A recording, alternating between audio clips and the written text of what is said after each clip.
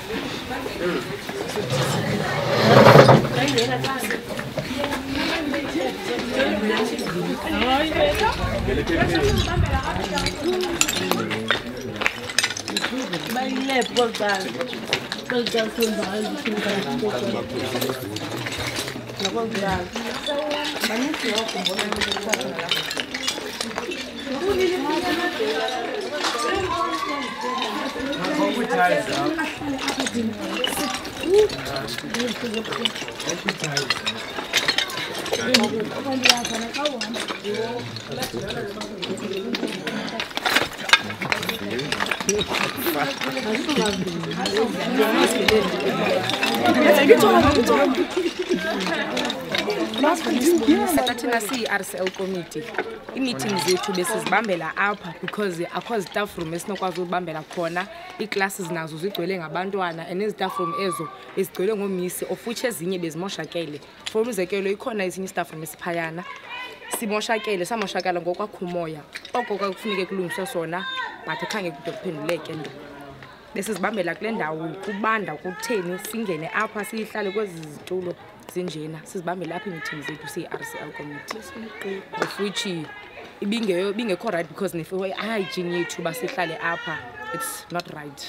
now nenza ugrade 12 mantombazana why do you choose oba niyiadresse ngoku le nto lena ebeni benihleli iminyaka emininzi ngayo and ngale period ibimele uba nyhani niyastadisha ngayo for uba nikwazi ukupasa kakuhle why nichuza this time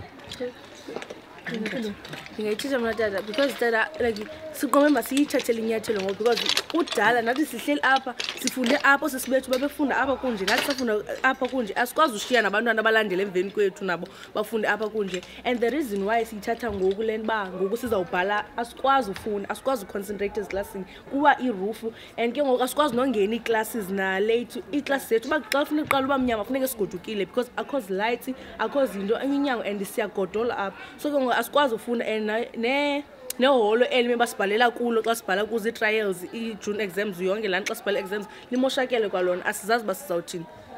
but irofu leyi anerofu leyi iphakamile ne mm, phakathi inside is terrible nangaphakathi nangaphakathi let's go and check so this is what this is what it is and and ootishara apho they had to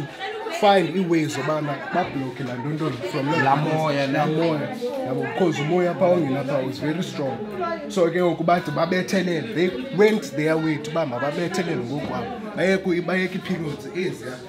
uba basiditshana babesebenze le bengingengozi ebethu okay leliholo enayo yeyona into ezasiafektha because ke ngoku singena kwitrayi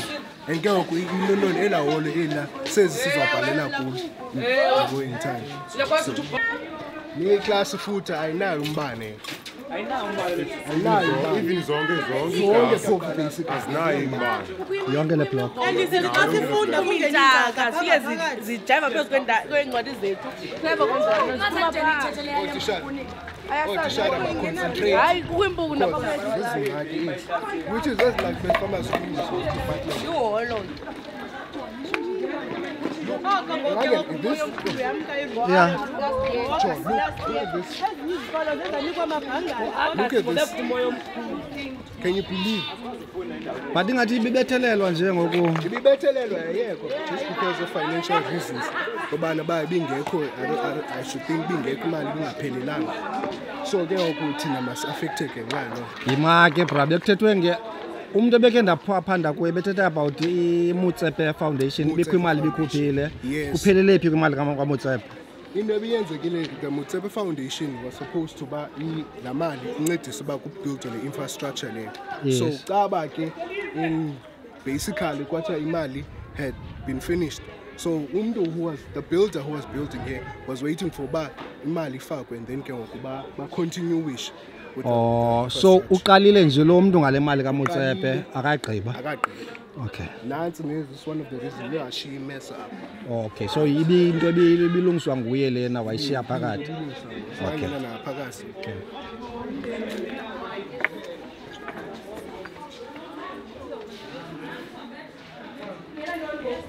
Yo. This is the problem that we're facing.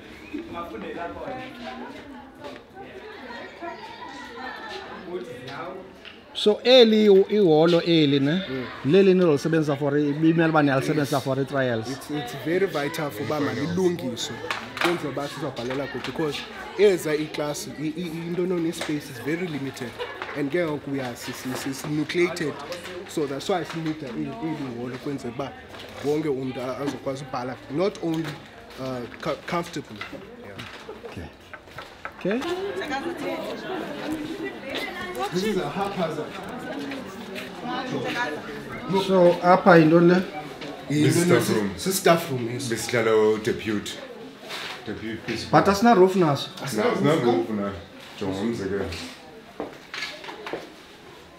Jonga ngapha. Incwadi zethu esifuna ngazo. Jonga. Incwadi besincede jonga. Mfithu ngilavula ngamoya. so i-disaster yonke le ninzi ke apha and one of the reason was uba ugrade eight lo sinaye iyarotate akaze ngolu hlobo esizile safika apha u-twenty twenty safuna ugrade eight apha nathi sasirotate still yabo so into zalapha zazizirotate so instead of uba kuloo silitasi zazalungiswa ke ngoku le rotation ngeke le nto asifundi kakuhle abanye abantu abantu afundi kakuhle so nje ma siyiphakamile senza le nto senzela abanye abantu bakwazi sinje siphuma thina abanye bakwazi ufunda kakuhle yabo aba bakhange bakwazi andiyazi uba kuthini andiyazi the reason why bangakwazanga ukuthini ukuthethelela bayiphakamele yonke le nto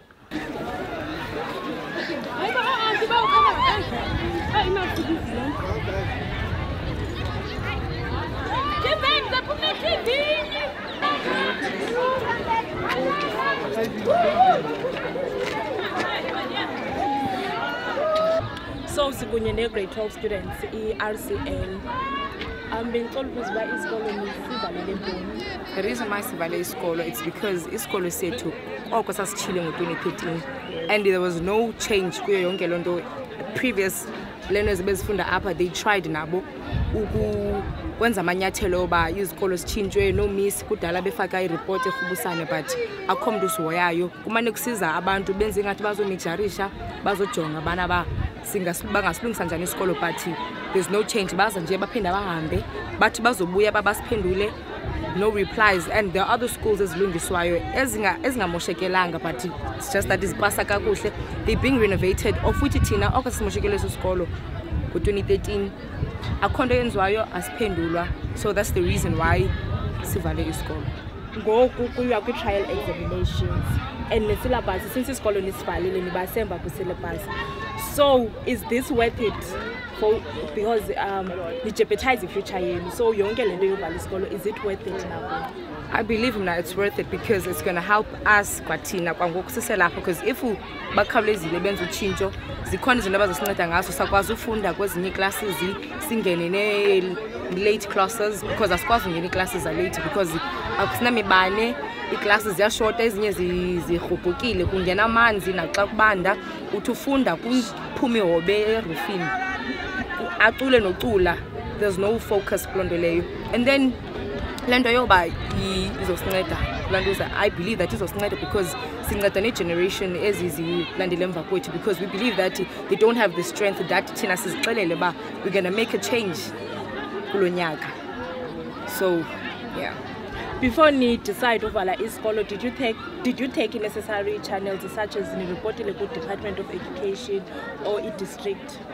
yalapha emdantsane um we didn't report to anyone because siyazile if we do, if we do report obviously bazosinqanda from ukwenza into esifuna uyenza of which it's not going to help us bazosivalela from ezinye ii-channels uba siqhubekeke nale nto sifuna yenzeke oh and also um esi okuvala kweli sikolo kuzawuqhubekeka for how long up until sihoyo up until sibone kuthi kusenzeka into kufika izitena bakulungiswe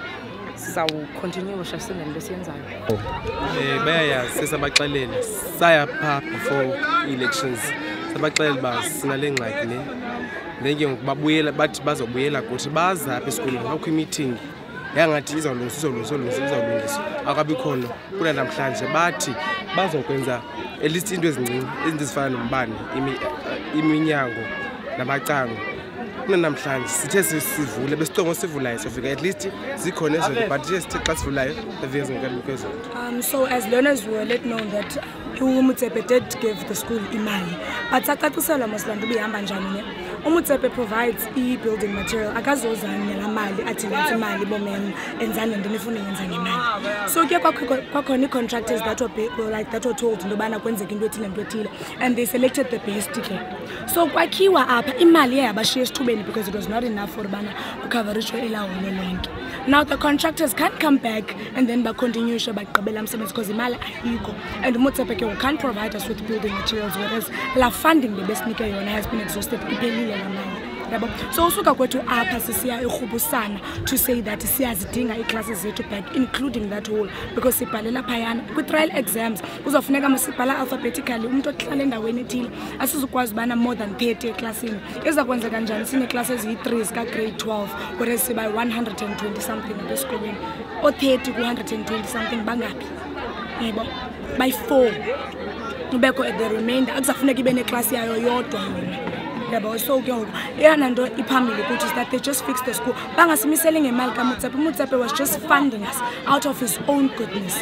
bona be-part of i-department they are supposed to do their job balungise isikolo sethu sifunde provide better results ungasoloko kuthatha itishala zethu apha to go and account for i-results that are poor zizawuba ngabiphiwa njani results term na term whereas sifunda kwindawo enjena sifundela naphandle at times sine-morning classes ndizozothini apha esikoleni ngo-half past six ela xesha ndizoqhaqhazela kukho amahoba aphumayo kukho iimpuku eziphumayo funeka uphakamisa imilenzi utishela uyafunda sizoyenza njani loo nto leyo at the end of the day nabo they have to be realistic and also your fellow student mentioned that uba anikwazi ufunda kude kube late why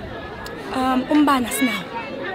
asinawo and what they did bafake nje umbane kwii-classes eziyi-two zakagrade twelve the third class yakwagrade twelve which is twelve c ayinawo umbane ayilight akwazi light and siba ne-late like, late classes umzekelo uyangena u-six to ten apha esikolweni uyangena u-six to six in the morning apha esikolweni asikwazi umenza because asinambane salayita ngantoni asikwazi sana amakhandlela esikolweni uzovela aphele emakwethu i-load shedding two hours ininsi ulayita ikhandlela izawuba njani koko i-four hours eight hours light ikhandlela it's impossible for us to do that